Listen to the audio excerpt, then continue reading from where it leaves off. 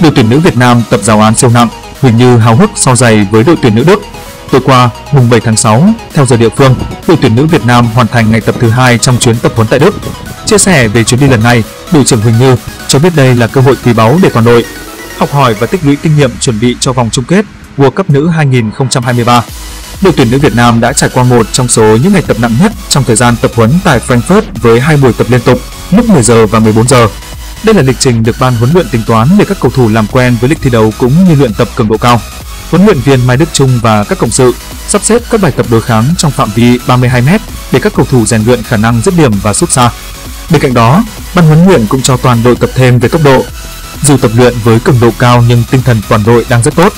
Các cầu thủ đều tích cực hoàn thành giáo án của ban huấn luyện để nâng cao kỹ thuật, sức mạnh cá nhân cũng như khả năng phối hợp giữa các vị trí.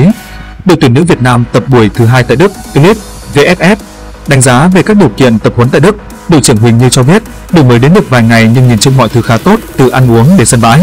Mặt sân tập tại đây cũng êm giống như tại trung tâm đào tạo bóng đá trẻ Việt Nam. Tôi nghĩ đây là điều kiện tốt để đội tập luyện.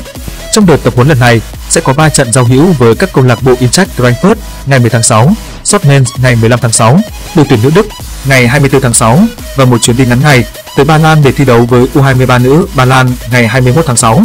Mỗi trận đấu giao hữu đều là cơ hội quý giá để tôi tập luyện và trau dồi những kỹ năng còn thiếu về sức mạnh cũng như kinh nghiệm khi đối đầu với các đội bóng mạnh. Những đối thủ sắp tới tại vòng chung kết bóng đá nữ thế giới rất mạnh. Trong đợt tập huấn này mình cũng có các trận giao hữu với U23 nữ, Ba Lan và đặc biệt là đội tuyển nữ Đức để học hỏi. Toàn đội sẽ tranh thủ khoảng thời gian quý báu để chuẩn bị tốt nhất cho vòng chung kết World Cup 2023, Huỳnh Như khẳng định.